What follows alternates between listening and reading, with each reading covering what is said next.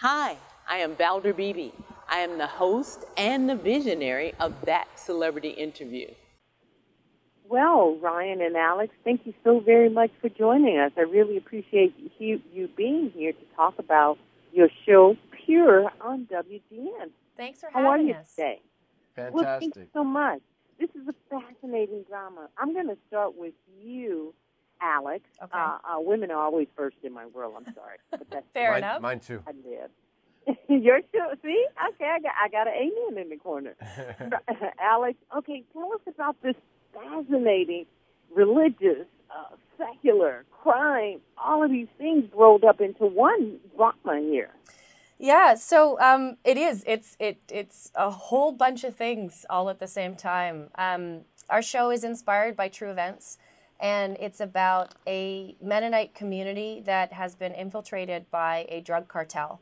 And Ryan and I play the Funks, Anna and Noah Funk, and um, uh, Noah is is elected pastor in the first season, and um, quickly comes face to face, head to head with the drugs that are infiltrating his community, and makes the decision to try to eradicate the evil and bring his community back to their simple, humble values and to God. And things don't exactly go as planned. so, um, yeah, at the at the end of season one, um, he had some pretty terrible things had happened to our family, to our community, and he'd made some pretty difficult decisions. And the most difficult decision, in my opinion, he decides that he needs to walk away from his family and from his community to try to find redemption. So at the beginning of season two, the world is very different um, than what we had been used to in season one. The family is fractured, and they're going to have to try to find their way through and maybe back together. Want my audience to know I'm speaking with Ryan Robbins and Alex Paxton Beesley. They are the stars of WGN's Pure. Okay, Ryan, tell me your character because you kind of you and and and and, and Alex, you are the main characters in this drama. Yes, ma'am. Uh, well, uh, Noah Funk is a he was a Mennonite pastor, uh, devout in his faith and um, his family, and de- dedicated, and committed to his community. Um, as Alex said, he's, he sees a, a drug start to these drugs start to infiltrate his community. He wants it gone. He thinks he's just going to eradicate it.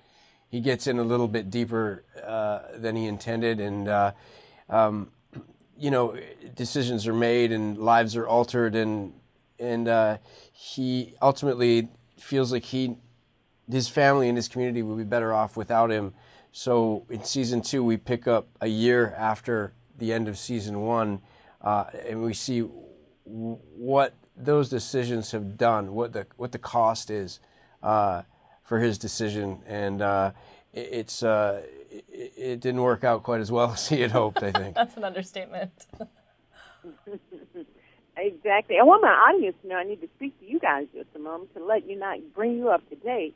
If you don't know the Mennonites, they are a they're neither Catholic nor Protestant, but they share ties to those two Christianity streams. And people uh, so they're very religious in their beliefs, but they don't believe in church organization, military service, public office. So they're a little bit different. You guys are portraying it very, very well. But what I think more deeper is how crime and drugs have infiltrated uh, uh, religion and, and American way of society that you guys are showing us.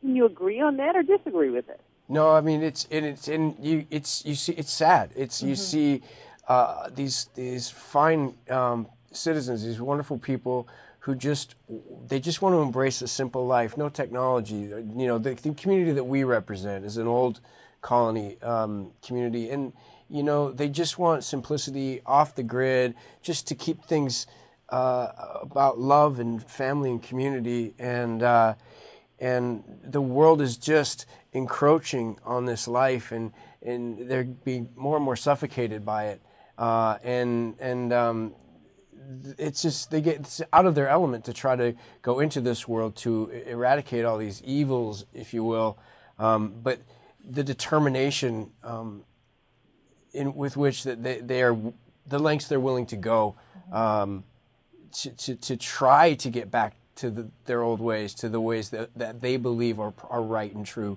Um, and it's, it's a really um, powerful message, I think. Alex, and I read that this is really based on a true story.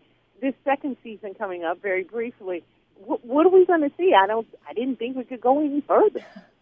Yeah, well, I mean, sort of to speak to what Ryan was just saying, you know, these are people that have been trapped um, by outside events and then by the series of their own decisions. It's it's sort of a, a perfect storm here.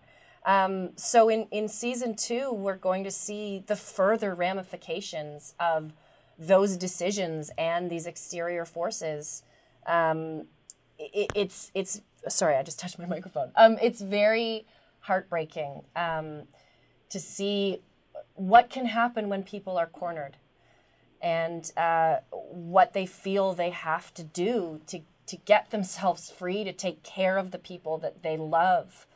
Um, so yeah, season two is is everything dialed up to 11 um, if you thought season one was intense season two is is even more so. And i think people are going to see that just from the premiere episode. Um, there there are a couple of things that that happen in in that first episode that give you a real taste of what's to come and of how far these characters are going to be pushed by by the evil in the world and I think every American family really needs to watch this because you, people may be saying, "Oh, that's those people or that religion," but I think that's something that's permeating many households, many religions, many things in America. So people need to watch so you can be aware. I think but, it is a un- it's a very universal story. Um, you know, there there are certain particulars about about our show, but I, I think universally this is something that can happen to anyone and does happen to anyone. I, I, I, it's certainly not specific to the people that we're portraying, for sure. Very well said, Alex. Ryan, wrap us up. When when can we watch this new season? We know it's on WGN. What what daytime? Yeah, Tuesdays at nine central um, on WGN. We start airing on the twenty eighth of May. Ryan Robbins and Alex Paxton Beesley, you are doing a stellar job. Thank so you thank so you. much, You guys Valder. make me cringe every week. Thank uh, you. Thank you. Thank so you so so much. nice talking to you.